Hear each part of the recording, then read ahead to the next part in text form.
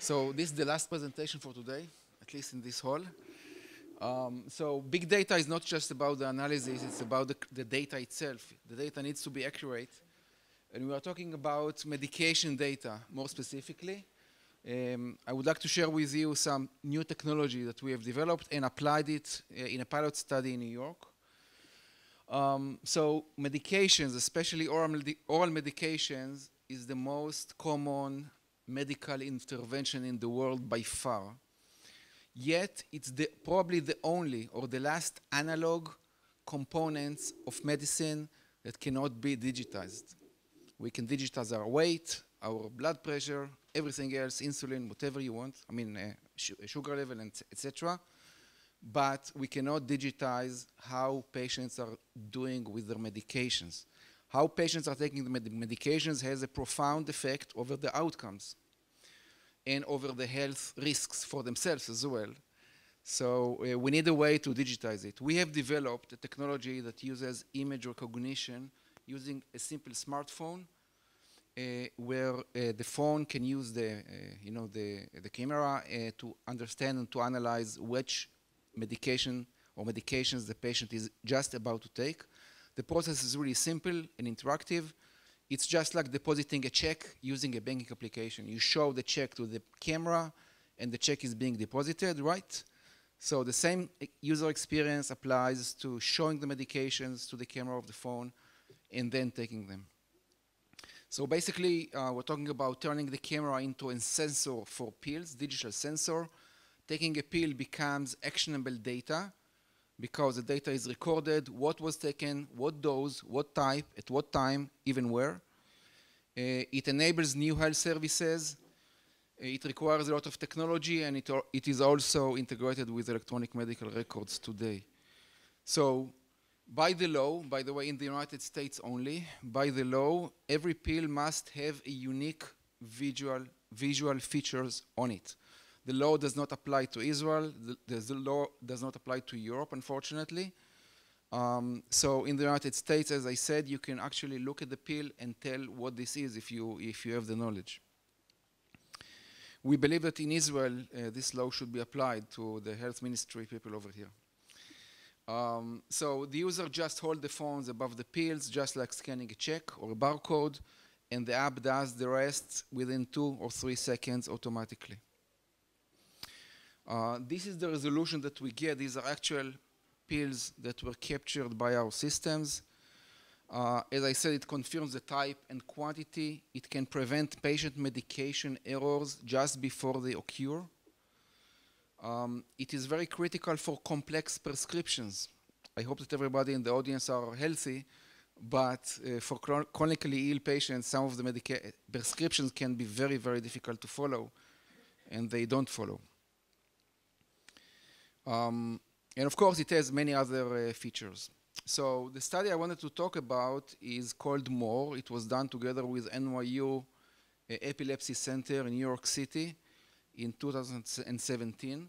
It's quite interesting because uh, it was really a piggyback over a much bigger study uh, that we supplied all the software for the study, including many, many other features I'm not even talking about right now. But part of the study involved 14 inner city English or Spanish speaking adults, young adults usually. Uh, for those who don't understand the uh, politically correct language, inner city really means compromised population who is uh, normally non-compliant and uh, you know less educated than the normal uh, uh, person you can find. So we gave them a questionnaire to begin with so that we should know who we are dealing with, and this is what you find at the bottom here. So we asked them how many of them were using email on their phones, for example. So only 30% were using, 70% did not use email on their phones. We asked them how many were using Facebook, Twitter, uh, Google Maps, for example, for navigation or, or you know, Waze. Most of them, 100% actually, didn't use that on their phone. For some, that was the first time that they ever got a smartphone. The reason that we did it, this is very, very difficult population to, to work with, and the reason that we did it is because one of the questions that I'm often being, being asked is, okay, nice technology, but it's only good for those who are anyway taking their medications right because they are the smart people, they are the you know, intelligent people, they are the ones who are using technology. So I wanted to see what happens if we take very compromised population, throw you know, all the recent bells and whistles of technology at them, and what would happen next. The results were uh, that we got uh, more than 100 medications existed in patient prescriptions. It's all was, you know, uh, inserted prior of the study. Uh, we got uh, more than five, almost uh, four, 4,700 medication events, which means taking the medications, were, report, were reported. The patients were given an option, either to report taking the medications manually by pressing yes, I took it in the app, or by showing the medications to the app as we discussed before and using the pill recognition capability. So about 17% of this particular population were showing the medications to their camera. It's a high percentage, again, remembering the population. And the rest were choosing to click on the app and acknowledge taking the medications. Following the study, we did, we ran a survey uh, among the patients, in which 80, about 86% responded that the app was easy for them, relatively speaking easy. 93% responded that the app provided, provides capabilities that are important for them. More than half reported that the app caught a medication mistake, meaning that they were taking, intended to take a wrong medication the wrong time or the wrong dose and uh, the same, uh, same um, percentage reported that the app helped them making sure that they are taking the right medication.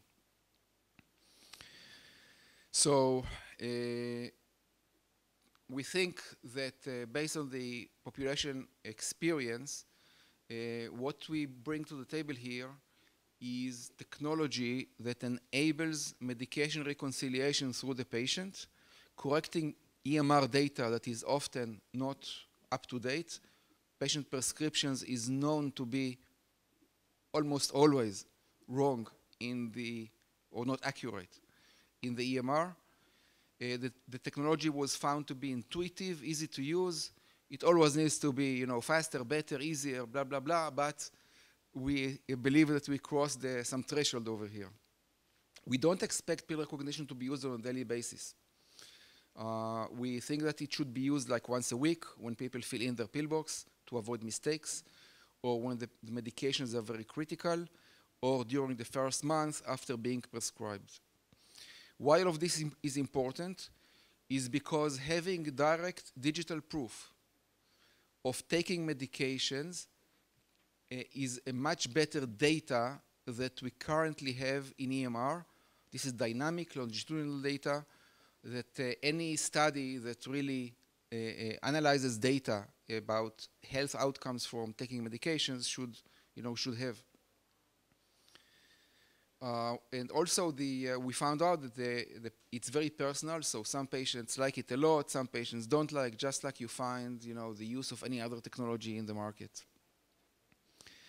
Um, currently, digital tracking of medication taking is only available using very expensive and rare technologies. Uh, if, some, if you have heard of Proteus uh, in a pill, uh, that's uh, one way of doing it. Uh, we produce uh, or we propose the other way of doing it, which is via a simple app downloaded from the App Store. So this is cheap, this is scalable, this is quick, quickly can be quickly introduced to the market and is very versatile in terms of use and use cases. That's it.